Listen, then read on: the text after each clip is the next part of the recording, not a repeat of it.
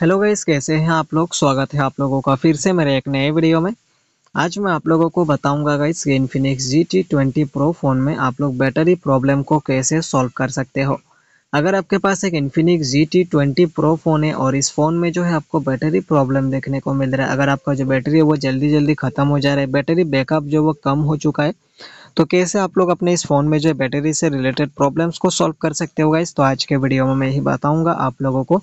इसलिए वीडियो को लास्ट तक देखिए और अगर वीडियो पसंद आए, वीडियो को लाइक कर दीजिए और चैनल को भी सब्सक्राइब ज़रूर से कर लीजिए। तो चलिएगा इस वीडियो को स्टार्ट करते सबसे पहले तो आपको जो अपने फ़ोन को चार्ज में लगा के यूज़ नहीं करना है, नहीं तो आपका जो बैटरी है, वो ख़राब हो सकती है या बैटरी से रिलेटेड प्रॉब्लम्स देखने को मिल सकते उसके बाद आपको ऊपर से स्क्रॉल डाउन कर देना है और यहाँ पर जितने भी ऑप्शन है, इन सबको ऑफ़ करके रखना है जब भी आप लोग यूज़ नहीं करते नहीं तो आपका बैटरी जो है वो जल्दी जल्दी ख़त्म होने लगेगा।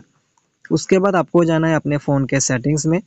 सेटिंग्स में जाने के बाद थोड़ा सा नीचे स्क्रॉल डाउन करेंगे तो आपको एक ऑप्शन देखने को मिलेगा इस पावर मैराथन का। तो इस पावर मैराथन के ऑप्शन पे क्लिक कर दीजिए। क्लिक करने के बाद यहाँ पर आपको एक ऑप्शन देखने को मिलेगा गाइस पावर बूस्ट का। उसके बाद नीचे एडवांस सेटिंग्स का ऑप्शन है एडवांस सेटिंग्स पे क्लिक करेंगे और बैटरी सेवर को पे क्लिक करके इसको ऑन कर देंगे। ऑन करने से आपका जो बैटरी है वो सेव होने लगेगा और आपका बैटरी बैकअप भी इंक्रीज हो जाएगा। अगर आपका बैटरी जल्दी जल्दी ख़त्म हो जाता है तो इसको आप लोग यहाँ पर से ऑन कर सकते हो। उसके बाद पहले जो मैंने बताया था पावर बूस्ट का, इसको भी आप लोग ऑन कर सकते हो। इसको ऑन करने से आपका जो बैटरी है, वो कुछ ज़्यादा सेव होने लगेगा।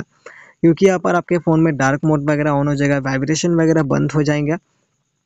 ऑप्टिमाइज वॉल्यूम वेकअप स्क्रीन बहुत सारे जो है ऑप्शन यहाँ पर बंद हो जाएँगे और आपका जो बैटरी है वो भी ज़्यादा सेव होने लगेगा। तो कुछ इस तरीके से आप लोग अपने Infinix G T twenty pro phone में आप लोग बैटरी प्रॉब्लम को सॉल्व कर सकते हो। तो कैसा लगा इस आप लोगों को ये वीडियो अगर वीडियो पसंद आया हो तो वीडियो को लाइक कर दीजिए और चैनल को भी सब्सक्राइब ज़रूर से कर लीजिए। मिलते का लेक नेक्स्ट वीडियो में, तब तक के लिए बाय